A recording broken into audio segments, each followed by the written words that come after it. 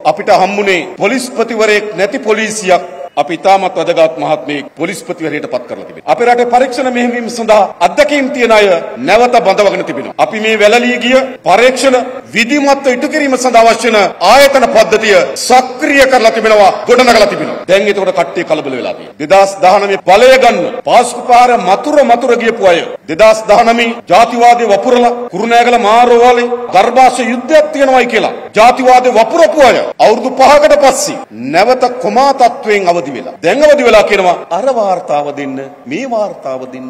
අවුරුදු 5ක් කොම ඒ වාර්තා දෙකම රනිල් වික්‍රමසිංහගේ වාර්තා. එකක් channel 4 නාලිකාවේ ගියපු වීඩියෝ පට පිළිම පරීක්ෂණ කිරීම සඳහා කමිටුවක් පත් කරා. ඒ කිසිසේත්ම විමර්ශන කමිටුවක් නෙවෙයි කමිටුවක්. පත් කරලා වාර්තාවක් දීලා තිබෙනවා දෙවැනි එක පාස්කු පහරේදී ආරක්ෂක අංශවලින් යම් වැරද්දක් සිදු වුණාද කියලා විම- විමසා බලන්න තව කමිටුවක් පත් කරලා තිබෙනවා. ඒ කමිටු දෙක විසින් වාර්තාවක් ලබා දී තිබෙනවා. ඒ වාර්තාව ලබා දුන්නේ රනිල් වික්‍රමසිංහ පාලනය. මම එනකොට හිටපු ජනාධිපති ලේකම්වරයාට කතා කරලා කිව්වා ඒ වාර්තාවලට කුමක්ද සිදු වුනේ. ඔහු මට කිව්වා එහි එක් වාර්තාවක් නීතිපති දෙපාර්තමේන්තුවට යොමු කරලා තිබෙනවා. ආරක්ෂක අමාත්‍යාංශ ලේකම්වරයාට යොමු කරලා තිබෙනවා. මහජන ආරක්ෂාව පිළිබඳ අමාත්‍යාංශ ලේකම්වරයාට යොමු කරලා. ඔන්න වාර්තාව. තව වාර්තාවක්. නීතිපතිවරයාට යොමු කරලා තිබෙනවා. මහජන ආරක්ෂාව පිළිබඳ ලේකම්වරයාට යොමු කරලා තිබෙනවා. ඒ වගේම අගරදුගුරු මණ්ඩලයේ ලේකම් ඒ රදගුරුතුමාටත් රදගුරු මණ්ඩලෙ වෙනි යොමු කරලා තිබෙනවා. එනිසා ඒ වාර්තා කිසිවක් රහස් වාර්තා නෙවෙයි ඒවා දැනටමත් අදාළ ආයතනට යොමු කරලා තිබෙන වාර්තා. අපි දන්නවා රනිල් වික්‍රමසිංහ සමහර කමිටු හැදුවේ රනිල් වික්‍රමසිංහගේ උවමනාව තිබුණේ මේ පරීක්ෂණය ඇත්ත දිශාවට යොමු කිරීම නෙවෙයි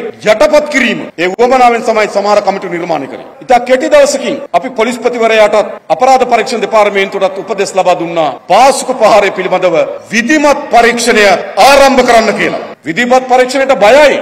මේක කඩාකප්පල් කරන්න ඕන. මේකට අකුල් ලෙලන්න ඕන.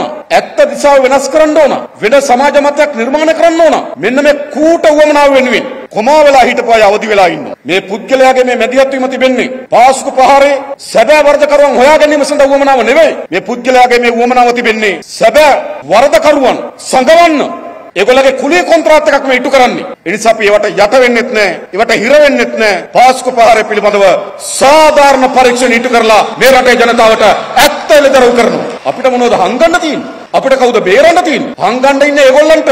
බේරන්න ඉන්නේ ඒගොල්ලන්ට. ඒ නිසා මතක තබා ගන්න. ඒ සෙල්ලම් කරන්න පුළුවන් 2015 රනිල් වික්‍රමසිංහත් එක්ක. කිසි දෙයක් හරියට කරගන්න ඉඩ නොදී පෙරලන පෙරන බාල්දියට පැටලි පැටලි වැටි වැටි තමයි රනිල් වික්‍රමසිංහ ගමන් කරේ 2015. මතක තියාගන්න මේ ජාතික ජනබලවේගය අපි පෙරනල බාල්දි වලට පැටලෙන්නෙත් නැහැ. බාල්දි පෙරලන අයට ඉඩ දෙන්නෙත් නැහැ.